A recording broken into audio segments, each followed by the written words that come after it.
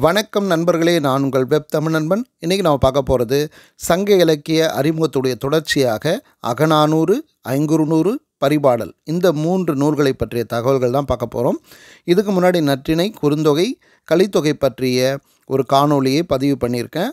இதை நீங்கள் பார்க்கல அப்படின்னா டிஸ்கிரிப்ஷனில் லிங்க் கொடுக்குறேன். இதை முடிச்சிட்ட பிறகு அதையும் பார்த்துருங்க. வாங்க வீடியோக்குள்ளே போகலாம் சங்க இலக்கியம் என்று சொல்லப்படக்கூடியது முதற்சங்கம் இடைச்சங்கம் கடைச்சங்கம் என்று சங்கம் வைத்து தமிழ் வளர்த்த பாண்டியருடைய கொடையாக நமக்கு கிடைச்சிருக்கக்கூடியது. நம்முடைய தமிழர்களுடைய வரலாறு பண்பாடு எல்லாமே நம்ம ஆதிகாலத்தில் எப்படி இருந்தாங்க எப்படியெல்லாம் வளர்ச்சி அடைஞ்சது என்கிறதெல்லாம் நம்ம தெரிஞ்சுக்கணும் அப்படின்னா இந்த இலக்கியங்கள் தான் நம்ம படிக்கணும். அந்த வகையில் எட்டு தொகை பத்து பாட்டு ரெண்டுமே அற்புதமான தொகுப்பு. இதில் எட்டு தொகையில் இடம்பெற்றிருக்கக்கூடிய அகநானூறு ஐங்குறுநூறு பரிபாடல் பற்றி தான் இன்றைக்கி நாம் பார்க்க போகிறோம் இந்த மூன்று நூல்களுமே வந்து ரொம்ப குறிப்பிடத்தக்க நூல்கள். அகநானூறு ஐங்குறுநூறு ரெண்டுமே வந்து அகம் சார்ந்தது. பரிபாடல் அகமும் புறமும் சார்ந்த நூலாக இடம்பெற்றிருக்கு. இந்த நூல்களை பற்றிய தகவல்களை தொகுத்து நிறைய பேர் வந்து கேட்டதுனால இந்த வீடியோ நான் பதிவு பண்ணியிருக்கேன். இதில் முதல் நூலாக நாம் பார்க்கவிருப்பது அகநானூறு. அகம் சார்ந்த சங்க இலக்கிய நூல் அப்படின்னாவே முதல் இடத்தில் இருப்பது குறுந்தொகை. அதற்கடுத்து ஒரு முக்கியமான நூல் அப்படின்னு சொன்னால் அகநானூறு தான் சொல்லணும். குறுந்தொகையில் சுருக்கமாக சொல்லப்பட்ட அற்புதமான தகவல்களை கொஞ்சம் விரிவாக அகநானூரில் நம்ம பார்க்கலாம்.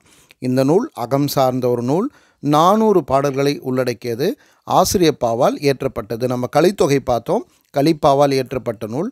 அதே மாதிரி இந்த அகநானூறு ஆசிரியப்பாவால் ஏற்றப்பட்ட நூல். இந்த நூலில் இருக்கக்கூடிய பாடல்கள் பார்த்திங்கன்னா நூற்றி நாற்பத்தி ஐந்து புலவர்களால் பாடப்பட்டது.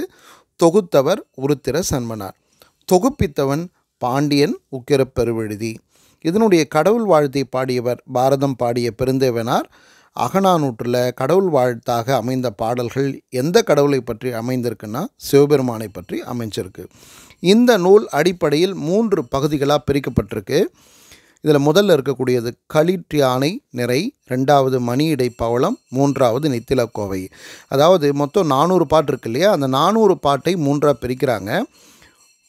ஒன்றாவது பாட்டிலிருந்து நூற்றி இருபதாவது பாடல் வரைக்கும் இருக்கக்கூடியதை களிற்றியானை நிறை அப்படின்னு சொல்கிறாங்க நூற்றி இருபத்தி ஒன்றாவது பாடலிருந்து முந்நூறாவது பாடல் வரைக்கும் இருக்கக்கூடியதை மணிமடை பவளம் அப்படின்னு பிரிக்கிறாங்க. முந்நூற்றி ஒன்றாவது பாடலேருந்து நானூறாவது பாடல் வரைக்கும் இருக்கக்கூடியதை நித்திலக்கோவை அப்படின்னு பிரிக்கிறாங்க. இதற்கு நெடுந்தொகை என்கிற ஒரு பெயரும் உண்டு நினைவில் வச்சுக்கோங்க. ஏன்னா பெரிய பெரிய பாடலாக அமைஞ்சிருக்கு. இதனுடைய சிற்றெல்லை பதிமூணு அடி பேரெல்லை முப்பத்தி ஓரு அடி. அதாவது இந்த நூலில் பதிமூணு அடி தொடங்கி முப்பத்தி ஓரு அடி வரைக்கும் இருக்கக்கூடிய பாடல்கள் தான் இடம்பெற்றிருக்கு. இது மட்டும் இல்லாமல் ஒரு ஒழுங்கு முறைப்படி தொகுக்கப்பட்ட ஒரு நூலாக இதை நம்ம பார்க்குறோம். அதாவது இந்த பாடல் என்ன திணை சார்ந்ததாக இருக்குது அப்படின்றத இல்லை இந்த திணை சார்ந்த பாட்டு தான் எனக்கு வேணும் அப்படின்னா அது எப்படி கண்டுபிடிக்கிறது அப்படின்றதுக்கு ஒரு எளிமையான முறையை ஒரு ஒரு ஒழுங்கு முறையில் இந்த நூல் தொகுக்கப்பட்டிருக்கு. அது என்னன்னு பார்த்தோம்னா இந்த அகநானூறு நூலில் பார்த்தீங்கன்னா பாலை திணை சார்ந்த இரநூறு பாடல்கள் இருக்குது இந்த பாடல்கள் எப்படி அமைஞ்சிருக்கு அப்படின்னா அந்த நூலில் ஒன்று மூன்று ஐந்து ஏழு இந்த மாதிரி ஒற்றைப்படையில் வரக்கூடிய பாடல்கள்லாம் வந்து பாலை திணை பாடல்களாக அமைச்சிருக்காங்க.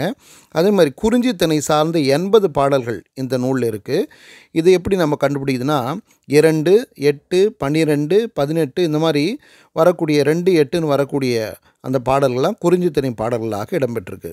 அதே மாதிரி முல்லைத்திணை பாடல்கள் நாற்பது பாடல் இருக்குது இது நான்கு பதினாலு இருபத்தி நாலு இந்த மாதிரி நான்கு நான்காக அமைச்சிருக்காங்க. அதே மாதிரி மருதத்தனை சார்ந்த நாற்பது பாட்டு இருக்குது இது ஆறு ஆறாக இருக்கும். அதாவது ஆறு பதினாறு இருபத்தி ஆறு இந்த மாதிரி ஆறெல்லாம் மருதமாக அமைஞ்சிருக்கு. நெய்தல் திணை பாட்டு நாற்பது இருக்குது இது பத்து பத்தாக பிரிச்சிருக்காங்க. அதாவது பத்து இருபது முப்பது நாற்பது அப்படி இந்த நூலில் நம்ம அந்த பாடல்கள் எடுத்து பார்த்தோம்னா இதெல்லாமே நெய்தல் திணை பாடலாக அமைஞ்சிருக்கும். இந்த நூலை முதல் முதல்ல பதிப்பித்தவர் வே ராசகோபால ஐயங்கார். நூல் முழுவதற்கும் உரை எழுதியவர்கள் பார்த்திங்கன்னா நாமு வேங்கடசாமி நாட்டார் அடுத்து இரா வேங்கடாச்சலம் பிள்ளை. இவங்க ரெண்டு பேர் எழுதியிருக்காங்க. அதற்கு பின்னாடி இன்னும் நிறைய பேர் வந்து உரை எழுதியிருக்காங்க. குறுந்தொகை எப்படி பலராலும் விரும்பி படிக்கப்படக்கூடிய நூலாக இருக்கோ அதே மாதிரி அகநானூரும் பலரும் விரும்பி படிக்கப்படக்கூடிய ஒரு நூலாக இன்றைக்கு வரைக்கும் இருந்துகிட்ருக்கின்றது குறிப்பிடத்தக்கது. காரணம் என்ன அப்படின்னா தமிழருடைய அகவாழ்வை நுணுக்கமாக எளிமையாக சொல்லக்கூடிய நூல்கள் தான் இந்த இரண்டுமே. இன்னும் நிறைய தகவல்கள் சிறப்பான தகவல்கள்லாம் இந்த நூலில் இருக்குது அதில் முக்கியமானது பார்த்திங்கன்னா இன்றைக்கு நம்ம ஒரு தேர்தல் முறையை வச்சு நடத்திக்கிட்டு இருக்கோம். அதாவது வாக்குச்சீட்டு இருந்தது. இன்றைக்கி நம்ம நேரடியாக ஒரு ப ஒரு பொத்தானை அழுத்தி நம்முடைய வாக்கை செலுத்தும் விதமாகலாம் நிறைய முன்னேற்றங்கள் நடந்திருக்கு. ஆனால் உலகின் முதல் முதல்ல தேர்தல் முறை அப்படின்ற ஒன்று கொண்டு வந்தவர்கள் தமிழர்கள் தான். அந்த தேர்தல் முறைக்கு பேர் குடவோலை முறை. குடவோலை தேர்தல் முறை. அப்படி ஒன்று இருந்தது அப்படின்றதுக்கான சான்று தான் அகநானூறு. இதில் ஒரு பாடல் அந்த செய்தியை சொல்லக்கூடியதாக அமைஞ்சிருக்கு. அதே மாதிரி சங்க இலக்கியத்தில் இன்னும் நிறைய வரலாறு சார்ந்த செய்திகள் இருக்குது நம்ம கலித்தொகையில் பார்த்தோம் புராணம் சார்ந்த செய்திகள் நிறைய இருக்குது அப்படின்ட்டு. இதில் பார்த்திங்கன்னா வரலாறு சார்ந்த செய்திகள் இருக்குது முக்கியமாக வந்து வடநாட்டோர் பற்றிய தகவல்கள் இதில் கொடுத்துருக்காங்க. நந்தர்கள் மோரியருடைய படையெடுப்பு அதே மாதிரி மோரியருக்கு வடகர் வந்து துணையாக நின்றது போன்ற வரலாறு சார்ந்த தகவல்கள்லாம் இந்த அகநானூரில் இருக்குது அது மட்டும் இல்லாமல் சோழ நாட்டு வருவாய் குடந்தையில் வைத்து காக்கப்பட்டிருக்கின்ற செய்தியை பார்க்குறோம். பண்டையருடைய திருமணம் முக்கியமாக எப்படியெல்லாம் வந்து இன்றைக்கி கல்யாணம் சொல்கிற இல்லையா? அந்த திருமண முறை எப்படியெல்லாம் இருந்தது என்பதை நாம் இன்றைக்கு வந்து தெரிந்து கொள்ள வாய்ப்பே இல்லை. ஆனால் அதை சொல்லக்கூடிய ஒரு நூலாக இந்த அகநானூறு அமைஞ்சிருக்கு. அதே மாதிரி திங்கள் ரோகிணியுடன் கூடிய நன்னாளில் திருமணம் அந்த காலத்தில் நடத்தப்பட்டிருக்கு. அதே மாதிரி கந்து என்பது அந்த காலத்தில் வழிபாட்டுக்காக வைக்கப்பட்ட மரத்தூண். பங்குனியில் வந்து விழா நடைபெற்றிருக்கு. இந்த மாதிரி நிறைய தகவல்களை ஒரு உள்ளடக்கிய ஒரு நூலாக தமிழருடைய வரலாற்று பண்பாட்டு களஞ்சியமாகவே இந்த அகநானூறு அமைஞ்சிருக்கு அப்படின்னு சொன்னால் அது மிக கிடையாது. இதில் நிறைய சிறந்த தொடர்கள்லாம் இடம்பெற்றிருக்கு. அதில் சில தொடர்களை நம்ம பார்ப்போம். பல்புகழ் நிறைந்த வெல்போர் நந்தர் சீர்மிகு பாடலி குழி கங்கை நீர் முதல் கறந்த நிதியம் கொள்ளோ என்கிற மாமூலருடைய பாடல் மூலமாக நாம் வரலாற்று செய்திகளை தெரிஞ்சுக்கலாம். அதே மாதிரி நந்தன் வெறுங்கை எய்தினும் மற்றவன் தங்களர் வாழி தோழி என்கிற மாமூலருடைய பாட்டும் ரொம்ப குறிப்பிடத்தக்கது. அதே மாதிரி யவனர்களை பற்றிய பாடல்களை எருங்காட்டு தாயங்கண்ணனாருடைய ஒரு பாடல் அடிகள் மூலமாக தெரிஞ்சுக்கலாம். யவனர் தந்த வினைமான் நன்கலம் பொன்னோடு வந்து கரியோடு பெயரும் என்கிற பாடல் அடிகள் ரொம்ப குறிப்பிடத்தக்கது. இந்த மாதிரி இன்னும் நிறைய பாடல் அடிகளை சொல்லிகிட்டே போகலாம் அடுத்து நம்ம பார்க்கவிருக்கிற நூல் பார்த்திங்கன்னா அகம் சார்ந்த செய்திகளை குறுந்தொகையை விடவும் இன்னும் சுருக்கமாக சொல்லிய ஒரு நூல் ஐங்குறுநூறு. அதை பற்றி தான் பார்க்க போகிறோம் வாங்க இந்த நூலுடைய பேர் தான் ஐங்குறுநூறு. ஆனாலும் பெரிய பெரிய நிறைய தகவல்கள்லாம் வந்து இந்த நூலை பற்றி நாம் பார்க்கலாம். இதில் அகம் சார்ந்த நூலாக இது அமைஞ்சிருந்தாலும் நானூறு பாடல் கிடையாது. ஐநூறு பாடல்களை உடையதாக ஒரு பெரிய நூலாக இது அமைஞ்சிருக்கு. குறுநூறுன்னு பேர் தான். ஆனால் ஐநூறு பாட்டு இருக்குது ஏன் குறுநூறு அப்படின்னா இதில் இருக்கக்கூடிய பாடல் அடிகள் ரொம்ப சின்னதாக ஆரம்பிக்குது. அதாவது மூன்று அடிகள்லேருந்தே பாட்டை நம்ம பார்க்கலாம். ஆறு அடிகளுக்குள்ளே இந்த பாடல்கள்லாம் முடிஞ்சிடும் மற்ற நூல் எடுத்து பார்க்கும்போது நான்கு அடி எட்டு அடி இந்த மாதிரிலாம் அதிகமாக பதிமூணு அடி நம்ம அகநானூரில் பார்க்குறோம். அந்த மாதிரி அதிகமான அடிகளை உடையதாக அமைஞ்சிருக்கும். ஆனால் இதில் குறைஞ்சபட்சம் மூணு அடியிலேருந்து ஆரம்பிக்குது. ஆறு அடிக்குள்ளே அதாவது ஆறு வரிகளுக்குள்ளே இந்த பாடல்கள்லாம் முடிஞ்சு போகுது. அதனால் இது ஐங்குறுநூறு என்பதில் தவறு கிடையாது. இன்னொன்று இதற்கான பெயர் காரணம் பார்த்திங்கன்னா ஐந்து திணை சார்ந்த பாடல்களும் அமைஞ்சிருக்கு. அதனால தான் ஐங்குறு நூறு அப்படின்ற பேரே இடம்பெற்றிருக்கு. ஒரு திணைக்கு நூறு பாடல் வீதம் அதாவது குறிஞ்சி முல்லை மருதம் நெய்தல் பாலை என்கிற ஐந்து திணைக்கு நூறு பாடல் வீதமாக ஐநூறு பாடல்கள் இதுக்குள்ளே இருக்குது அடுத்தது ஒவ்வொருத்தனையும் பத்து பத்தாக பிரிக்கப்பட்டிருக்கு. ஒவ்வொரு பத்தும் பாடலுடைய பொருள் அல்லது அதில் வரக்கூடிய ஒரு சொல்லை பெயராக கொண்டு அமைஞ்சிருக்கு. இந்த ஐந்து திணை சார்ந்த பாடல்களை யார் யார் பாடியிருக்கான்னு பார்த்தீங்கன்னா நம்ம கலித்தொகையில் பார்த்தோம் இல்லையா? ஒவ்வொரு திணைக்கும் ஒரு ஒரு புலவர் பாடியிருப்பாங்க. அந்த மாதிரி இங்கேயுமே ஐங்கூர் நூலில் ஒவ்வொரு திணை ஒருத்தர் பாடியிருக்காங்க. அதில் மருதம் பாடியவர் ஓரம் போகியார் நெய்தல் பாடியவர் அம்மூவனார் குறிஞ்சி பாடியவர் கபிலர் பாலை பாடியவர் ஓதலந்தையார் முல்லை பாடியவர் பெயனார். நீங்கள் எப்பவுமே குறிஞ்சி முல்லை மருதனை இதழ் பாலை அப்படின்ற அந்த வரிசையில் படிப்பீங்க இல்லையா? அதனால் அந்த வரிசையில் நான் சொல்லிடுறேன். குறிஞ்சி பாடியவர் கபிலர் முல்லை பாடியவர் பேயனார் மருதம் பாடியவர் ஓரம் போகியார் நெய்தல் பாடியவர் அம்முவனார் பாலை பாடியவர் ஓதலந்தையார். இந்த நூலை தொகுத்தவர் புலந்துரை முற்றிய கூடலூர் கிழார் தொகுப்பித்தவன் யானை கட்சை மாந்தரன் சேரல் இரும்பறை. இதற்கு கடவுள் வாழ்த்து பாடியவர் பாரதம் பாடிய பெருந்தேவனார். நிறைய நூல்களுக்கு இவர் தான் வந்து கடவுள் வாழ்த்து பாடியிருக்காரு. இதில் இடம்பெற்றிருக்கக்கூடிய கடவுள் பார்த்திங்கன்னா சிவபெருமானை பற்றி தான் பாடல் அமைஞ்சிருக்கு. இந்த நூலை முதன் முதலில் பதிப்பித்தவர் ஓவே சாமிநாத ஐயர். இது இந்த அறிஞர் மட்டும் இல்லைன்னா நமக்கு நிறைய தமிழ் நூல்கள் கிடச்சிருக்காது இன்றைக்கு. அந்த மாதிரி ஊவே சாமிநாதையர் இன்னும் நிறைய பேர் இருக்காங்க. அவங்களுடைய தொண்டு தான் இன்றைக்கு நாம் இந்த மாதிரி இலக்கியங்களை படிக்கிறதுக்கு காரணமாக அமைஞ்சிருக்கு. சி சிவை தாமோதரம் பிள்ளை போன்ற இன்னும் நிறைய பேர். சார் இந்த நூலில் என்னெல்லாம் சிறப்பான செய்திகள் இருக்குது அப்படின்னு பார்த்தீங்கன்னா அம்மூனார் இயற்றிய நெய்தல் திணை இடம்பெற்றிருக்கக்கூடிய தொண்டிப்பத்து என்கிற ஒரு தொகுப்பு பார்த்திங்கன்னா அந்தாதி முறையில் அமைஞ்சிருக்கு. அந்தாதினா உங்களுக்கு தெரியும் அந்தம்னா முடிவு ஆதினா தொடக்கம். ஒரு பாடலுடைய முடிவு இன்னொரு பாடலுடைய தொடக்கமாக அமைஞ்சிருக்கும். அதாவது ஒரு பாட்டில் முடிகிற வார்த்தையை வச்சோ அல்லது அதனுடைய எழுத்தை வச்சோ அடுத்த பாட்டு தொடங்கும். அந்த எழுத்தை வச்சு தொடங்கும். அதனால் வந்து அதை அந்தாதி அப்படின்னு சொல்லுவோம். அந்த முறையில் அமைந்த பாடல்கள் தொண்டிப்பத்தில் நம்ம பார்க்கலாம். அதே மாதிரி பதிற்று பத்தில் கூட நான்காம் பத்திலும் இதே மாதிரி அந்தாதி தொடை அமைஞ்சிருக்குன்றதை. நினைவில் வச்சுக்கோங்க. இந்த அந்தாதி தொடை என்பது முற்காலத்தில் இல்லை அப்படின்னு நிறைய அறிஞர்கள் குறிப்பிடுறாங்க. பிற்காலத்தில் வந்த இந்த அந்தாதி தொடையில் இந்த பாடல்கள் அமைஞ்சிருக்கு. அதே மாதிரி சங்க இலக்கியத்தில் உள்ளுரை இறைச்சி அப்படின்றது ரொம்ப குறிப்பிடத்தக்கது. ஒருத்தர் நேரடியாக ஒரு உணர்வை சொல்ல முடியல அப்படின்னும் போது வேறொன்றின் மீது அதை ஏற்றி சொல்லுவது. அதாவது பறவைகள் மீது விலங்குகள் மீது அந்த மாதிரி வேறொன்றின் மீது ஏற்றி சொல்லக்கூடிய அந்த பண்பாடு தமிழரிடத்தில் இருந்திருக்கு. தமிழ் புலவர்கள் அதிகமாக இதை பயன்படுத்தியிருக்காங்க. அப்படி சங்க காலத்தில் உள்ளுரை இறைச்சி அதிகமாக இடம்பெற்ற நூல் எதுன்னு பார்த்தீங்கன்னா ஐங்குறுநூறு.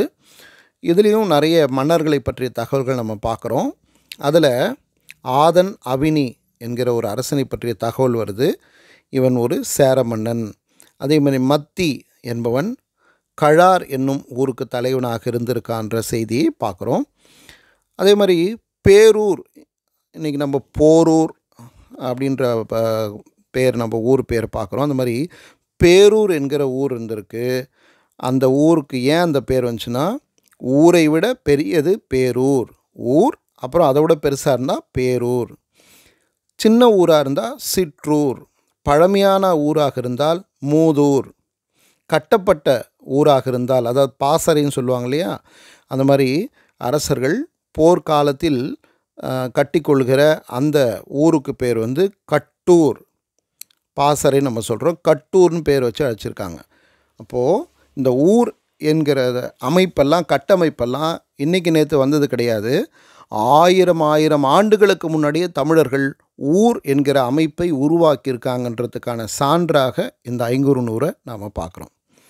அதே மாதிரி பாடி அப்படின்றது படை தலைவர்களும் வீரர்களும் தங்கியிருக்கக்கூடிய இடம். அந்த பாடி பற்றிய செய்திகளும் இந்த நூலில் நம்ம பார்க்குறோம். அதே மாதிரி பாசறை பாடி வீடு கட்டூர் இந்த மாதிரி பெயர்கள்லாம் நீங்கள் இதில் நம்ம அதிகமாக பார்க்கலாம். அடுத்தது தை திங்களில் இளம் பெண்கள்லாம் குளத்தில் நீராடி நோன்பு இருந்த தகவலை இதில் நம்ம பார்க்குறோம். ரொம்ப முக்கியமான ஒரு தகவல் நூறாயிரம் என்ற பெயருக்கு மேலே இன்னும் நிறைய எண்களை நம்ம தமிழர்கள் பெயரிட்டு அழைச்சிருக்காங்க. இன்றைக்கி நம்ம லட்சம் மில்லியன் கோடி இந்த மாதிரியெல்லாம் நம்ம ப பெயர்களை பயன்படுத்துகிறோம் இதெல்லாம் ரொம்ப பெரிய எண்கள் பேரெண்கள் அப்படின்னு சொல்லுவாங்க. ஆனால் இதெல்லாம் தமிழில் ஏற்கனவே இருந்திருக்கு. வேறு வேறு பெயர்களில் இடம்பெற்றிருக்கு. இன்றைக்கி நம்ம சர்வதேச அளவிலான பெயர்களை பயன்படுத்துகிறோம் தமிழர்கள் பல்லாயிரம் ஆண்டுகளுக்கு முன்னாடியே இந்த பேரெண்களை பயன்படுத்தியிருக்காங்க. அப்படி நூறாயிரம் லட்சம்னு சொல்கிறோம்ல அந்த லட்சத்துக்கு மேலேயே தாமரை வெள்ளம் ஆம்பல் போன்ற பேரெண்களை பயன்படுத்தியிருக்காங்க. அதனால் கோடின்றது இன்றைக்கி வந்த பேர் கிடையாது. ஏற்கனவே நம்ம தமிழில் கோடிக்கும் மேலே எண்ணிக்கை பயன்படுத்தியிருக்காங்க. ஏன்னா போர்க்களத்துக்கு போகும்போது லட்சக்கணக்கான வீரர்கள் கோடிக்கணக்கான ஆயுதங்கள் பயன்படுத்தியிருக்காங்க. அவ்வளோ பேர் வந்து போரில் மாண்டிருக்காங்க. அப்போது இதுக்கெல்லாம் வந்து பெயரிடணும் இல்லையா? அப்படி தமிழர்கள் ஆதி காலத்திலேயே பேரெண்களை பயன்படுத்தியிருக்காங்கன்றதுக்கான சான்று இந்த ஐங்குறு நூற்றில் இருக்குது அதே மாதிரி நடுநாட் கங்குள் அப்படின்னு நள்ளிரவை அழைச்சிருக்காங்க. சங்க காலத்தில் மக்கள் அன்றைக்கி பார்த்திங்கன்னா பன்னெண்டு மணியிலிருந்து நாளை கணக்கிட்டிருக்காங்க. இன்றைக்கி தான் நம்ம இப்போ ஏதோ புதுசாக வந்து பன்னெண்டு மணின்றத நம்ம ஒரு நாளினுடைய தொடக்கமாக பார்க்குறோம் அப்படின்னு கிடையாது. இன்றைக்கி நம்ம இரவு பன்னெண்டு மணியை கணக்கு வச்சுக்கிறோம். சங்க காலத்தில் பன் பகல் பன்னெண்டு மணியிலிருந்து ஒரு நாளை கணக்கிடக்கூடிய முறை இருந்திருக்கு. இதை நம்ம ஐங்குறுநூரில் தெரிஞ்சுக்கிறோம். அதே மாதிரி பாண்டில் அப்படின்ற கால் நிறுத்திய பெரிய விளக்கு அன்றைக்கு இருந்திருக்கு அப்படின்றத நம்ம தெரிஞ்சுக்கிறோம். அதே மாதிரி வண்டல் பாவை அதாவது மண்ணை கொண்டு சிறுமியர் செய்யக்கூடிய பொம்மையெல்லாம் அன்றைக்கு இருந்திருக்கிறது. இன்றைக்கி பொம்மைன்றது ஏதோ வெளிநாட்டிலேருந்து இறக்குமதி பண்ணுற பொருளாக ஆயிடுச்சு. நம்முடைய நாட்டில் நம்முடைய பாரம்பரியமாக நம்முடைய முன்னோர்கள்லாம் மணலில் மண்ணில் சிற்பங்களை செய்து விளையாடி இருக்காங்க அப்படின்றத நம்ம பல இடங்களில் பல நூல்களில் பார்க்குறோம். அது அந்த மாதிரி ஒரு நூல் தான் இந்த ஐங்குறு நூறு அதே மாதிரி குறவை என்கிற ஒரு ஆட்டத்தை பற்றிய தகவலும் இதுக்குள்ளே இருக்குது அதாவது பெண்கள்லாம் ஒரு ஏழு பேர்லேருந்து ஒன்பது பேர் வரைக்கும் கைகோர்த்து ஆடக்கூடிய ஆட்டம். இன்றைக்கி நம்ம சினிமாவில் ஆடுற ஆட்டத்தை பார்த்து ஆச்சரியப்படுறோம். அப்படியெல்லாம் இல்லை. இதை விட அற்புதமான ஆட்டம்லாம் சங்க காலத்தில் ஆயிரம் ஆயிரம் ஆண்டுகளுக்கு முன்னாடியே நம்முடைய பெண்கள் ஆடியிருக்காங்க குறவை ஆட்டம் ஆடி இருக்காங்கன்றத இந்த ஐங்குறு நூறு மூலமாக நம்ம தெரிஞ்சுக்கலாம். அதே மாதிரி பஞ்சுரம் என்று சொல்லக்கூடிய பாலை பண்ணை பற்றிய தகவல் இதுக்குள்ளே இருக்குது அடுத்தது எழுத்துடை நடுகள் என்று சொல்லக்கூடிய அதாவது இறந்த வீரனை பற்றி புகழ்ந்து ஒரு கல்லை நட்டு அதில் எழுதி அழிக்கக்கூடிய அதன் பழக்கமெல்லாம் நம்முடைய சங்க காலத்தில் இருந்து இருக்குன்றதை இன்றைக்கி நம்ம பார்க்குறோம். அதே மாதிரி ஆண்களுக்கு வலது கண் துடிச்சா நல்லது பெண்களுக்கு இடது கண் துடிச்சா நல்லது என்ற சகுனங்களை எல்லாம் கூட அன்றைக்கு நம்முடைய தமிழர்கள் பின்பற்றியிருக்காங்கன்றத இந்த சங்க இலக்கிய நூல் வச்சு தெரிஞ்சுக்கலாம். அது மட்டும் இல்லாமல் இந்திர விழா பற்றிய செய்திகளும் இந்த நூல் மூலமாக நம்ம தெரிஞ்சுக்கலாம். சரி இதில் இடம்பெற்றிருக்கக்கூடிய சிறந்த தொடர்களை பார்த்தோம்னா அன்னாய் வாழி வேண்டன்னை நம் படப்பை தேன்மயங்கு பாலினும் இனிய அவர் நாட்டு உவளை குவள் கீழ மானுண்டு எஞ்சிய கழுழி நீரே என்கிற இந்த பாடல் அடிகளுக்கு இணையாக எதுவுமே கிடையாது. அதாவது காதலின் இனிமையும் அதனுடைய தூய்மையும் அதனுடைய ஆழமும் நம்மால் வந்து அறுதியிட்டு சொல்லவே முடியாது. அப்படிப்பட்ட ஒரு உணர்வு கிடங்காக கபிலருடைய பாடல்கள் அமைஞ்சிருக்கு. அது மாதிரி நிறைய பாடல்களை கபிலர் எழுதியிருக்கார். அதில் இது ஒரு அற்புதமான ஒரு பாட்டு. ஐங்குறுநூறில் இடம்பெற்றக்கூடிய பாட்டு. ஓரம் புகையாருடைய ஒரு பாடல் அடியும் பார்க்குறோம்.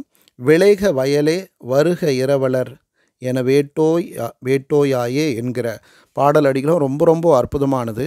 நம்முடைய விருந்தோமல் பண்பாட்டை சொல்லக்கூடிய அடிகளாக இது அமைஞ்சிருக்கு. இது போன்ற இன்னும் அற்புதமான பாடல்கள்லாம் இந்த ஐங்குறுநூரில் இருக்குது சின்ன சின்ன பாட்டு தான்.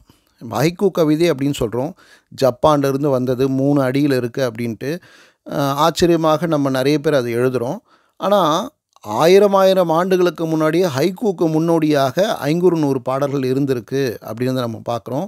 இன்னும் ஒருபடி மேலே போய் அதை விட சுருக்கமாக இரண்டடியிலே வள்ளுவர் எழுதியிருக்கான்றதை நம்ம நினைவில் வச்சுக்கணும். அடுத்து நாம் பார்க்க போகிற நூல் பரிபாடல். பரிபாடல் என்கிற இந்த ஒரு தொகுப்பு பார்த்திங்கன்னா ரொம்ப அற்புதமான ஒரு தொகுப்பு. அகமும் புறமுமாக சேர்ந்த ஒரு அற்புதமான தொகுப்புன்னு சொல்லணும். தமிழருடைய பண்பாடு கலாச்சாரத்தை வாழ்வியலை தெரிந்து கொள்வதற்கு சமூகம் சார்ந்த செய்திகளை தெரிந்து கொள்வதற்கு ரொம்ப முக்கியமான ஒரு நூல்னு சொல்லணும். இந்த நூல் பார்த்திங்கன்னா தொல்காப்பியர் சொல்லக்கூடிய பா வகைகளில் ஒன்றான பரிபாடல் என்கிற வகையை சார்ந்தது. இதனுடைய சிற்றெல்லை இருபத்தைந்து அடி பேரெல்லை நானூறு அடி. அதாவது நம்ம ஏற்கனவே ஐங்குறு நூறில் பார்த்தோம். ரொம்ப சின்ன சின்ன பாடல் அடி. மூன்றுலேருந்து ஆறு அடிகளுக்குள்ளே தான் இருக்கும்ன்ட்டு ஆனால் இதெல்லாமே பெரிய பெரிய பாடல். இருபத்தைந்து வரியிலிருந்து நாற்பது வரி வரைக்கும் இருக்கக்கூடிய பெரிய பெரிய பாடல்களை உள்ளடக்கியதாக இந்த பரிபாடல் அமைஞ்சிருக்கு. இந்த தொல்காப்பியர் சொன்ன இந்த பரிபாட்டுன்றது அகப்பொருளில் வரக்கூடியது. பாவகையால் பெயர் பெற்ற நூலாக இந்த பரிபாடலை பார்க்குறோம். ஆனால் எட்டு தொகை நூல்களில் இந்த நூல் பார்த்திங்கன்னா அகமும் புறமும் சேர்ந்த நூலாகத்தான் நம்ம பார்க்குறோம். அதே மாதிரி பொருட்கலவை சேர்ந்த நூல் அப்படின்னு இந்த பரிபாடலை சொல்லுவோம். நிறைய செய்திகள் இதுக்குள்ளே ஒரு தொகுப்பாக அமைஞ்சிருக்கும். அது மட்டும் இல்லாமல் தமிழில் முதல் இசை பாடல் அப்படின்னா வந்து பரிபாடல் தான் அந்த நினைவில் வச்சுக்கோங்க. இந்த நூல் பார்த்திங்கன்னா மட்டும் இல்லாமல் அறம் பொருள் இன்பம் வீடு என்கிற நான்கு விதமான உறுதிப் பொருட்களையும் சொல்லக்கூடிய ஒரு நூலாக காப்பியத்தன்மை பெற்ற ஒரு நூலாக நம்ம பார்க்குறோம் ஆனால் இதில் அடிப்படையில் ஒரு காப்பிய தலைவன் ஒரு கதை அமைப்பு இல்லைன்றதுனால இதை காப்பியமாக நம்ம சேர்க்கல. ஆனால் இதில் அறம் பொருள் இன்பம் வீடு என்கிற நான்கையுமே சொல்லக்கூடிய நூலாக அமைஞ்சிருக்கு. எட்டு தொகை நூல்களில் பாண்டியர்களை பற்றி மட்டுமே சொல்லக்கூடிய நூல்ன்ட்டு நம்ம கலித்தொகையை சொன்னோம். அதே மாதிரி பரிபாடலும் பாண்டியர்களை பற்றி மட்டுமே சொல்லக்கூடிய ஒரு பாடல் நூலாக நம்ம பார்க்குறோம். இதில் மொத்தம் எழுபது பாடல்கள் இருக்குது இந்த எழுபது பாடல்கள் எப்படி இருக்குன்றதுக்கு ஒரு ஒரு பாடலை வந்து கொடுக்குறாங்க. அதாவது திருமார்க்கு இருநான்கு செவ்வேற்கு முப்பது ஒரு பாட்டு. காடு கிழார்க்கு ஒன்று மறுவினிய வையை இருபத்தாறு மாமதுரை நான்கென்ப செய்ய பரிபாடல் திறம் அப்படின்றாங்க. அதாவது திருமாலுக்கு எட்டு முருகனுக்கு முப்பத்தி ஒன்று காடு கிழால் அப்படின்னு சொன்னால் காளி காளிக்கு ஒரு பாட்டு வையைக்கு இருபத்தி ஆறு மதுரைக்கு நான்கு. ஆக மொத்தம் எழுபது பாடல்களை குறிப்பிடுறாங்க. ஆனால் இப்போ கிடைச்சிருக்கிற பாடல்கள் பார்த்தீங்கன்னா வெறும் இருபத்தி ரெண்டு பாட்டு தான் நம்மக்கிட்ட இருக்குது அதில் திருமாலை பற்றி ஆறும் முருகனை பற்றி எட்டும் வையை பற்றி எட்டும். மொத்தம் இருபத்தி ரெண்டு பாட்டு மட்டும்தான் நம்ம கையில் இப்போ கிடச்சிருக்கு. இந்த பரிபாடலை பாடிய புலவர்கள் பதிமூன்று பேர். அதில் குறிப்பிடத்தக்கவர்கள் பார்த்திங்கன்னா நல்லச்சுனார் நன்னாகனார் கேசவனார் கண்ணாகனார் அதே மாதிரி பித்தாமந்தர். இப்போ இவங்கெல்லாம் பார்த்திங்கன்னா பாடலுக்கு இசை அமைத்து கொடுத்து பாடலை சிறப்பித்திருக்கிறார்கள். அதாவது இசையோடு பாடக்கூடிய வல்லுநர்களாக இவங்கெல்லாம் இருந்திருக்காங்க. இதில் வையை பற்றிய பாட்டு அகம் சார்ந்த பாட்டாக இருக்குது ஏன்னா அகம்புறம்னு சொல்லிட்டோம்.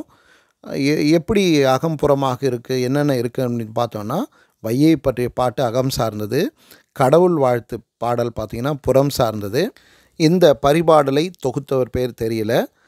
பரிபாடலுக்கு உரை எழுதியவர் பரிமேலழகர் முத முதல்ல இதை பதிப்பிச்சவர் ஊவே சாமிநாத ஐயர் சரி இதில் என்னெல்லாம் சிறப்பான செய்திகள் இருக்குது அப்படின்னா நிறைய ஏகப்பட்ட செய்திகள் இருக்குது அதில் சிலவற்றை மட்டும் நம்ம பார்ப்போம். எட்டு தொகை நூல்களில் பரிபாடலில் மட்டும்தான் நான் என்கிற சொல் இடம்பெற்றிருக்கு. அதே மாதிரி கின்று என்று சொல்லக்கூடிய காலம் காட்டக்கூடிய இடைநிலை முத முதல்ல பரிபாடலில் தான் இடம்பெற்றிருக்கு. அது மட்டும் இல்லாமல் பெரும் பெயர் இருவர் கண்ணனும் பலராமனும் என்று இருபெரும் தெய்வங்களை பற்றிய தகவல்கள் இதில் இருக்குது அதில் பலதேவனுக்குரிய பனைக்கொடி பற்றியும் நாஞ்சில் படை பற்றிய தகவல்கள் இதுக்குள்ளே இருக்குது தொல்காப்பியத்தில் பனைக்கொடிக்கு தனி விதி சொல்லியிருக்கிறத நினைவில் வச்சுக்கோங்க. அம்பா ஆடல் என்கிற அந்த பெயரில் தான் வந்து தைநீர் ஆடல் அமைஞ்சிருக்கு. தைநீர் ஆடல் தான் இன்றைக்கி பிற்காலத்தில் பார்த்திங்கன்னா மார்கழி நோன்பாக மாறி இருக்கின்றது அறிஞருடைய கருத்து. இது மட்டும் இல்லாமல் நம்ம ஏற்கனவே அகனானூரில் பார்த்தோம் இல்லையா? பேரெண்கள் அந்த மாதிரி நிறைய பேரெண்கள் இதுக்குள்ளே அமைஞ்சிருக்கு. நெய்தல் குவளை ஆம்பல் சங்கம் கமலம் வெள்ளம் இதெல்லாம் வந்து பேரெண்கள் அதே மாதிரி இறைவனுடைய திருத்தலங்களை பற்றிய பெயர்கள்லாம் கூட இதில் அமைஞ்சிருக்கு. இருங்குன்றம் என்கிற பெயர் பார்க்குறோம். இருங்குன்றம் அப்படின்னா திருமால் இருஞ்சோலை. தன்பரங்குன்றம் அப்படின்றது திருப்பரங்குன்றம் திருவரை அப்படின்றது அழகர்மலை இந்த தகவல்களை நம்ம பார்க்குறோம். அதே மாதிரி திருமால் இருஞ்சோலையில் இருந்த ஆறுக்கு பேர் வந்து சிலம்பாறு அது பின்னால் சின்னாறுன்னு குறிக்கப்படுது. அதே மாதிரி திருவாதிரைக்கு உரிய தெய்வமாக சிவபெருமானை இந்த நூல் வந்து குறிப்பிடுது. அது மட்டும் இல்லாமல் நிறைய புராண செய்திகளை பற்றிய தகவல்களும் பார்க்குறோம். பார்க்கடல் கடைஞ்சது கருடன் தன்னுடைய தாயின் துயர் கலைந்தது பிரகலாதனுடைய கதை முருகப்பெருமானுடைய பிறப்பு பற்றிய கதை இந்த மாதிரி நிறைய தகவல்கள் அகலிகை சாபம் பெற்ற கதை இந்த மாதிரி நிறைய கதைகளை இந்த பரிபாடலில் நம்ம பார்த்தோம். அது மட்டும் இல்லாமல் உலகம் எப்படி தோன்றியது என்பதை பற்றி சொல்லக்கூடிய ஒரு நூலாக இந்த பரிபாடல் அமைஞ்சிருக்கு. இந்த நூலில் நிறைய சிறப்பான பாடல்கள் தொடர்கள் இடம்பெற்றிருக்கு. அதில் கடுவன் இளவெயினனாருடைய ஒரு பாடல் தொடரை பார்க்க போகிறோம் பொன்னும் பொருளும் போகமும் அல்ல. நின்பால் அருளும் அன்பும் அரணும் மூன்றும். உருளினார் கடம்பின் ஒளி தாராயே என்கிற அந்த அடிகள் இறைவன் மீதான அந்த பக்தியையும் அன்பையும் சிறப்பையும் சொல்லக்கூடியதாக அமைஞ்சிருக்கின்றதை பார்க்குறோம். இது போன்ற இன்னும் நிறைய காணொளிகள் ஏற்கனவே நான் போட்டிருக்கேன். அதெல்லாம் பார்த்து உங்களுடைய கருத்துக்களை சொல்லுங்கள் இந்த வீடியோ பிடிச்சுன்னா லைக் பண்ணுங்கள் ஷேர் பண்ணுங்கள் கமெண்ட் பண்ணுங்கள் மறக்காமல் சப்ஸ்கிரைப் பண்ணாதவங்க சப்ஸ்கிரைப் பண்ணிட்டு தொடர்ந்து வீடியோக்களை பாருங்கள் நன்றி நண்பர்களே. இன்னொரு நல்ல காணொளியோடு உங்களை சந்திக்கிறேன்.